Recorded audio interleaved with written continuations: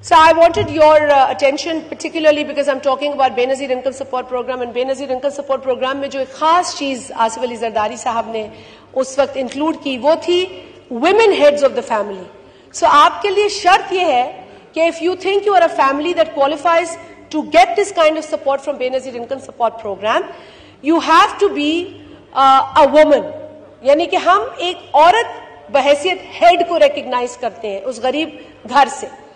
तो सर, इसमें यह था कि you have to be a married woman अब मैरिड से ये नहीं है कि you have to have a husband you can be a widow but ever married once in life you can be a divorcee you can be a widow